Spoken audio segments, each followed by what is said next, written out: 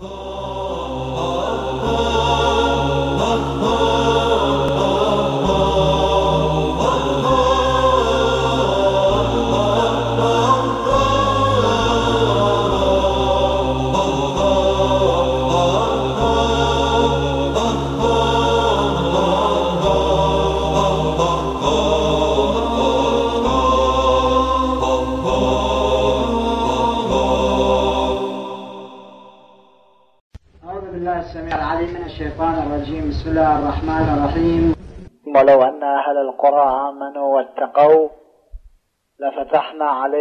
بركات من السماء والأرض. ولكن كذبوا أية أمة. لا تحترم قوانينها. هذه أمة مشرفة على السقوط. وأية أمة تحترم قوانينها. هذه أمة جديرة بالبقاء والتقدم. ولو أن أهل القرى آمنوا واتقوا. الإيمان الاعتقاد بالتوحيد بالعادل بالنبوة بالإمامة بالمعاد. هذه الأمور العقائدية. واتقوا يعني اتقوا المعاصي. فعل المعصية أو ترك الواجب. يعني أن الإنسان اتقى وآمن. آمن عقيدة واتقى عملا. شرب الخمر معصية يجب أن يتقى منه. القمار معصية يجب أن يتقى منه. الكذب الغيبة النميمة وإلى آخر القائمة المشهورة إذن معاصي. وكذلك ترك الصلاة معصية. ترك الصوم معصية. ترك الحج معصية. ترك الخمس معصية. لو أن أهل القرى آمنوا إيمانا عقيديا واتقوا تقوى عمليا إذا كانوا يؤمنون ويتقون شنو يصير؟ لفتحنا عليهم بركات من السماء والأرض. هذه الأمة كانت جديرة بأن الله سبحانه وتعالى يتفضل عليها ببركات من السماء بالأمطار بالهواء المعتدل في مقابل الحر الشديد والبرد الشديد وما أشبه من الأمور المرتبطة بالسماء. لفتحنا عليهم بركات من السماء والأرض يعني بركات من الأرض أيضا النبات المياه المعادن الخيرات الأرضية والتي تسمى بركات. لو أنهم راعوا قوانينهم ودينهم ومناهجهم ودساتيرهم لازدهروا ولكن كذبوا. لما كذبوا شنو؟ سقطوا. بالفعل نحن المسلمين سقطنا لأننا كذبنا. هسه تشوف كم واحد يصلون أو يصومون أو يحجون أو يحضرون مثلا أفرض مجالس الوعظ والإرشاد والهداية انظر إلى أغلبية المسلمين مو مواظبين على دينهم وحيث لا يواظبون على دينهم فهي أمة ساقطة اذهب إلى أي بلد من البلاد الإسلامية إلا النادر. تجد فيها حوانيت خمور تجد فيها حوانيت خمور. يعني شنو؟ يعني تكذيبا بأحكام الله. واذهب إلى كل البلاد الإسلامية وتجد النساء السافرات متبرجات. يعني تكذيبا بأحكام الله. وتكذيب بعد. وعلى هذا المعدل اذهب إلى جامعاتنا كلها مختلطة أو شبه مختلطة. وعلى هذا المعدل تجد أن الأمة المسلمة كذبت بأحكام الله فسقطت. وهذا مو خاص المسلمين أية أمة كذبت بقوانينها تسقط. كان عندي فرد صديق في كربلاء إحنا كنا ساكنين في محل منطقة في كربلاء تسمى محلة المخيم. في محلة المخيم كان فرد شاب. هذا شاب يدرس في إنجلترا في لندن. كل سنة يأتي إلى كربلاء جيراننا تقريبا. يأتي إلى كربلاء أيام العطلة عند أهله ثم يرجع. هنالك في لندن خطب فتاة من بنات لندن من بنات الإنجليز. خطبها وهذا جائز شرعا يعني يجوز للمسلم أن يتزوج بالكتابية. الكتابية يعني اليهودية والنصرانية والمجوسية. هؤلاء يسمون بالكتابيين والكتابيات. المسلم يجوز أن يتزوج بنتهم لكن البنت المسلمة لا يجوز أن تتزوج بكافر. يعني أنا جائز لي أن آخذ لولدي بنتا مسيحية أو بنتا يهودية أو بنتا مجوسية. أما أعطي بنتي ليهودي ما يجوز. أو أعطي بنتي لمسيحي لا يجوز. أو أعطي بنتي لمجوسي لا يجوز. فالمسلم يأخذ منهم وما يعطيهم أما بالنسبة إلى من لا كتاب له يعني الوثنيين عباد النار عباد البقر لا يجوز للمسلم لا يأخذ منهم لا يعطي لهم. يعني إذا ذهبنا إلى الهند أو كانت فتاة هندوكية. هذا لا يجوز أن نتخذها زوجة. حرام وباطل. وكذلك رحنا إلى بلاد الشيوعيين. نأخذ شيوعية. هذا ما يجوز. باطل. يعني هذا النكاح غير صحيح. لأن الشيوعي لا تعترف بالله وملحدة. فهي تسمى شيوعية أو هو يسمى شيوعي. فهذا الإنسان اللي كان جارنا شاب كان يدرس في إنجلترا. هناك خطب فتاة من فتيات لندن مسيحية بطبيعة الحال. لا بأس. يعني لا بأس عنده. ولو هذا أنا مو ما أحبذ أنا هذا الرأي.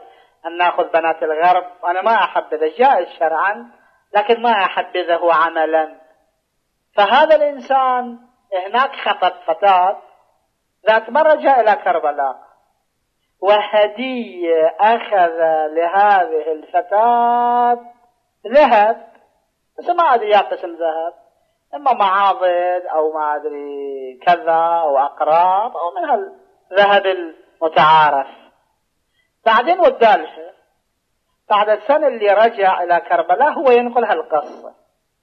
يقول أنه بالمطار أكو هناك مدخلان. مدخل الإنسان الذي وياه شي قشق يعني شيء لا يسمح قانونا بدخوله البلاد إلا بعد المكوس والجمرك والضريبة. ومدخل لا كل إنسان ما عنده قشق ما عنده بضاعة عليها جمرك يدخل من هذا المدخل الثاني فإنه مدخلان. يقول أنا شفت على أنه لماذا أعطي جمرك على هذا الذهب؟ فدخلت من المدخل الذي معناه ما عندي شيء. هم هم ما فتشوا أغراضي. لأن يفتشون أغراض كل واحد من ذلك المدخل إلا إذا شكوا به. يقول هم ما فتشوا أغراضي. أنا يعني شنو؟ يعني أدخلت البلاد الذهب خلسة وقشقا وبلا مساعدة القانون أدخلت الذهب للبلاد. فمثلا أفرض فرض خمسين أو عشرين أو عشر جنيهات ما دفعت كجمرك ومكوس. يقول رحت إلى عائلة البنت أول ما دخلت عائلة البنت أبوها وأمها موجودين لأن عائلة هم تقريبا محترمين وأنا أسكن عندهم. فقدمت لهم هذا الذهب هواية فرحوا هواية استبشروا. علامة الحب وعلامة الود. النبي الأعظم صلى الله عليه وآله وسلم يقول تحادوا تحابوا يعني إذا وديت إلى فرد إنسان هدية ولو كتاب ولو شيء بسيط الهدية تورث المحبة. يقول هو يفرحوا حسبوه تقدير مني كذا بعدين سألوا هذا إيش كثر كلفك هذا الذهب؟ يعني سأل عارض. مثلا اشتريت في كربلاء افرض مثلا 100 دينار. وبفلوسكم مثلا يصير 200 جنيه مثلا. قالوا زين. جمرك إيش كثر اعطيته؟ قلت ما أعطيت جمرك سوى الشطارة قالوا شو ما أعطيت جمرك؟ قلت دخلت من المدخل الذي معناه ما وياي بضاعة. وهم ما فتشوني ما دخلت من مدخل اللي وياي بضاعة حتى أسلم جمرك يعني بالقشق بالخلسة أدخلته البلاد. يقول من قلت لهم هالشكل قالوا لا أبدا هذا مو صحيح منا. شنو مو صحيح منا؟ هذا شطارة عندي هذا الشيء هذا قالوا مو صحيح عندك أبدا. إيه ليش مو صحيح؟ قالت أنت خالفت قانون البلاد.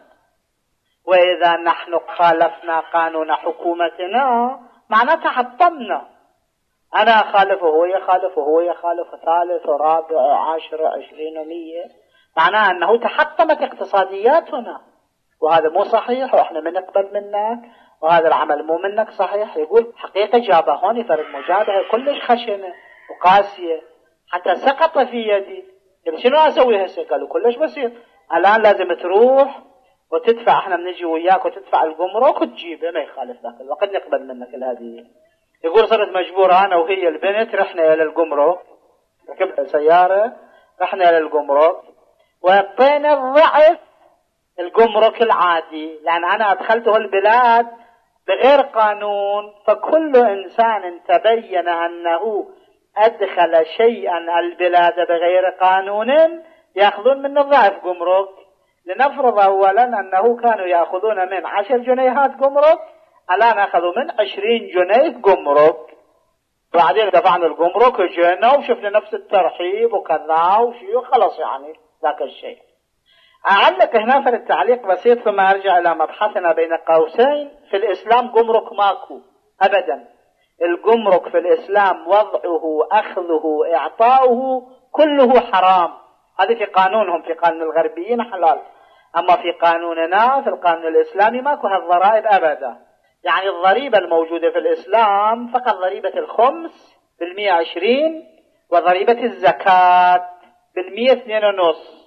على الأغلب.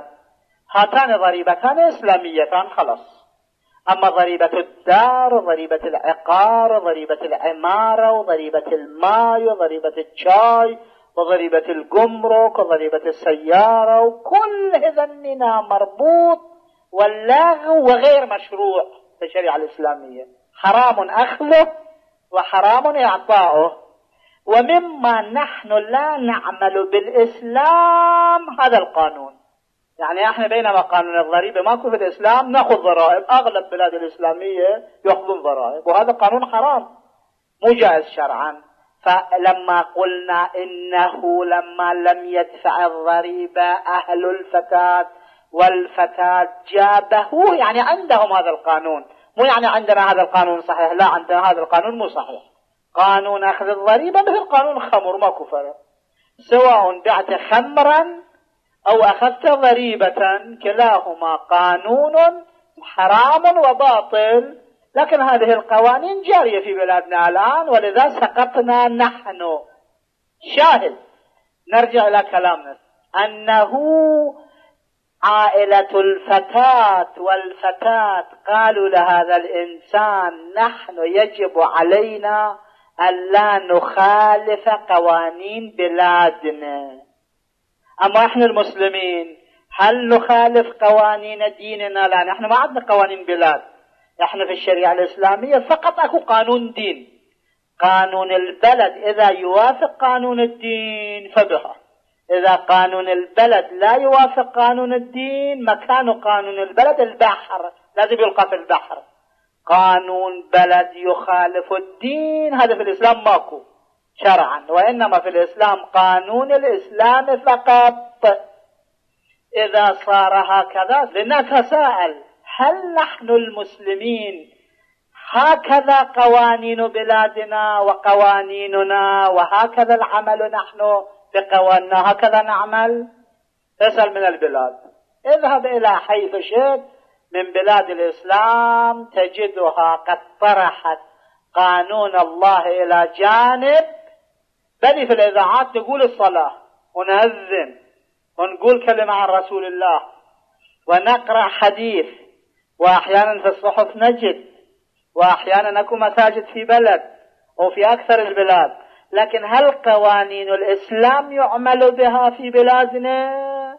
روح أسأل من النساء السافرات. واسأل من محلات القمار واسأل من حوانيت الخمور واسأل من دور البغاء واسأل من الأغاني الموجودة في الإذاعات. معنى هذا أن كمجموعة إسلامية وكشعب مسلم طرحنا قوانين الله في البحر. الله في قبال هذا الشيء طرحنا في البحر الله خلاص طرحنا في البحر يعني شنو؟ يعني أنه تركنا والأمم الشرقية والغربية يصفعوننا من كل صوب وإلى حيث ألقت رحلها ومقشعم إلى جهنم. بئس المصير. هذا هو. أنتم ما أردتم قانوني؟ أنا ما أريدكم. أنتم أهنتم قانوني؟ أنا مخليتكم حتى الأمم يهينوكم. لا أكثر ولا أقل. بينما المسلمون الأولون الذين صعدوا وسعدوا من السعادة؟ كانوا ملتزمين حرفيا بقوانين الإسلام. ونحن ما دام مو ملتزمين حرفيا بقوانين الإسلام إما الغرب يصفعنا وإما الشرق يصفعنا. هاي قاعدة كلية. فرد يوم نحن نصير مستقلين اليهود تذهب عنا نكون أمة قوية ذات كيان وسيادة. ذاك اليوم اللي إذا ذهبت إلى طهران وإلى بغداد وإلى القاهرة وإلى الكويت وإلى كراتشي شفت مرء سافر ماكو. ذاك اليوم صدق أننا جنصعد ذاك اليوم الذي رأيت حانوت خمر ماكو. ذاك اليوم الذي رأيت جمرك ماكو. وعلى هذا المعدل. إذا قوانين الله رجعت إلى البلاد نحن نصعد ونسعد. وإذا لا قوانين الشرق والغرب وقوانين الهوى والدجل والكذب وهذه الأشياء فإننا أمة ساقطة. كما سقط. المسلمون الأولون كانوا ملتزمين بقوانين الإسلام حرفيا. مرة صارت حرب. بين المسلمين وبين الإمبراطورية الفارسية. إيران وحوالي إيران كانت تسمى بالإمبراطورية الفارسية. المسلمون غلبوا ودخلوا البلاد. زين. لأن الحرب قطعة قطعة تقدمت يعني مو فرد مرة وإنما قطعة قطعة المسلمون في حرب ما تغلبوا وغلبوا. الأمير للمنطقة الفارسي عزم ودعا الأمير الجديد. يعني في هذه المنطقة افرض المتصرف منه المحافظ منه افرض زيد محافظ. هذا الزيد سقط لما جاء الإسلام فجاء مكانه عمرو. فزيد دعا عمرا. يعني الأمير الفارسي دعا الأمير الإسلامي في تلك المنطقة التي افتتحت بسبب الجيوش الإسلامية. على الغداء على مائدة الغداء الخادم جاء بآنية وطشت من ذهب وإبريق من ذهب حتى يغسل يده شايفين في بعض البيوت أقول يغسلون أيديهم بالطشت والإبريق قبل هذه الوسائل الحديثة. فجاء بظرف من ذهب وإبريق من ذهب ليغسل الخادم يد الأمير المسلم. بيت من؟ بيت الأمير الفارسي القديم. لا بأس. لما جاء الأمير المسلم نظر قال هذا شنو؟ قال هذا الذهب. قال لا ما أغسل إيدي قال شلون ما تغسل إيدك؟ قال لأن شارعنا ورسولنا حرم استعمال أواني الذهب والفضة. أكو فرد قانون في الإسلام. وهو أن استعمال أواني الذهب والفضة حرام. يعني إنسان يشرب شاي ماء طعام فاكهة حلويات في ظرف في إناء من ذهب هذا لا يجوز شرعا. وكذلك لا يجوز للرجل شرعا أن يتزين بالذهب. ويلبس خاتم ذهب ساعة ذهب أو لنفرض على أنه أنا شايف قسم من الشباب يخلون في أعناقهم فرد قلادة من ذهب. عمي هذا مال النساء. شنو أنت الولد مخلي في عنقك؟ لكن يخلي. وشنو قيمته هذا؟ كل قيمته افرض 15 20 دينار أو 30 أو حتى 50 دينار. قيمة الشباب ب 50 دينار في الحقيقة. لكن هذا جهل وخرق لقانون الإسلام. ما يجوز شرعا. أواني الذهب والفضة لا تجوز شرعا. وإذا إنسان راح إلى مكان وجابوا له ماي أو شاي في ظرف من ذهب أو فضة لازم ليه يشرب حرام شربه أبدا. لا يجوز شرعا. لازم يقول أنا ما أشرب هذا حرام. خلاص. وكذلك إذا رأيت شابا في يده ذهب أو على عنقه ذهب أو ساعته ذهب وحتى إذا قلم قانداني القلم مال الباركر مال ذهب وهالشكل مخليه حتى تزين به. هم يجوز شرعا هذا الشيء. الأمير المسلم سأل من الأمير الفارسي هذا شنو؟ هذا الطشت وهذا الإبريق؟ قال هذا ذهب. قال ما يجوز إحنا في ديننا الذهب؟ لأن رسولنا حرم الاستعمال للذهب. بل للنساء جائز. يعني لبس الذهب للنساء جائز. للرجال لا يجوز. أما استعمال آنية الذهب والفضة لا يجوز. لا للرجال لا للنساء. قال إن نبينا منع هذا الشيء. الأمير الفارسي قال له اذهب وصف قلبك. الأمير الفارسي قال له قال الأمير المسلم قال شنو هذا في إناء الذهب تشرب أو ما تشرب أو تغسل أو ما تغسل. هذا مو مهم روح نظف قلبك. الأمير المسلم قال له صحيح أنا أنظف قلبي.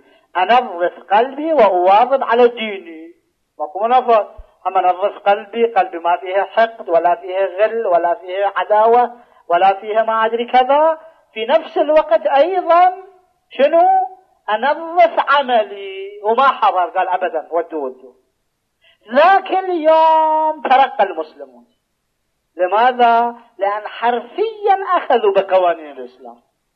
كما أن الإنجليز ترقوا لأن حتى فتاتهم في بيتهم يأخذ بقوانين دولته نفس الشيء أما اليوم هم ماخذين بقوانين دولهم إحنا تاركين قوانين ديننا خلاص هسه انت لا تشوف جماعات يصلون ويصومون ويحجون هذا ما يفيد لازم الكل يكونون هكذا يعني الكل يحترمون قانون دينهم مبدئهم قرآنهم منهاجهم. أي يوم هذا صار نترقى نتقدم نصير مثل السابق اللي كانت لنا عزة وكرامة وإمبراطورية وشخصية وكل شيء ومو اليهود حتى الأمريكان كانوا يخافون من عدنا وحتى أكبر من كان الروس كانوا يخافون من عدنا لكن اليوم حيث تركنا قوانين ديننا ما عدنا قيمة. والله أنزل قيمتنا حتى صار 150 مليون عربي في نظر الغربيين يعادلون مليونين إسرائيلي. شلون يقول لازم توازن الأسلحة؟ توازن الأسلحة يعني شنو؟ يعني أنتم 150 مليون لازم عندكم 100 دبابة وإسرائيل المليونين هم لازم 100 دبابة. أنتم لازم عندكم 500 طائرة هم لازم عندهم 500 طائرة. يعني الغربيين ينظرون إلينا بنظر مليونين يهود. لأننا تركنا أحكام الله الله هم تركنا. في القرآن الحكيم الله تعالى يقول نسوا الله. شنو بعد؟ فنسيهم. نسوا يعني مو نسوا يعني تركوا أحكام الله. هذا قال صلاة مو مهمة وذاك قال قمار مو مهم. وهذا قال غنى مو مهم. وهذا قال سفور مو مهم. وهذا قال خمر مو مهم. وهذا قال زنا مو مهم. وهذا قال ربا مو مهم. تركوا الله خلص شنو الله سوى في قباله؟ نسوا الله فنسيهم. الله تركهم وشانهم. لذا في هذه الآية المباركة التي تلوناها الله تعالى يقول ولو أن أهل القرى آمنوا واتقوا. يعني أن أهل القرى والقرى يعني المدن. ولو أن أهل القرى آمنوا واتقوا لفتحنا عليهم بركات من السماء والأرض. ولكن كذبوا فأخذناهم بما كانوا يكسبون. هم كذبوا وإحنا تركناهم في أمان الله. روحوا. لذا في الحقيقة من الضروري علينا أن نهتم لتطبيق الإسلام حرفيا على أنفسنا. ودعوة الناس إلى تطبيق الإسلام حرفيا. يعني إذا بنت الإنسان سافر أو أخت سافر يقول لا يقول أنا شيء يهمني لا أبدا. هذا سبب سقوطنا. لازم بالقوة بالنصح مو بالقوة أقصد بالعصا يعني ها يعني بالنصح بالإرشاد بالهداية بالكلام الطيب ندخلها في العباءة. إذا شفنا شاب ولابس ذهب لازم على أنه نطلب منه أن يترك الذهب من يده.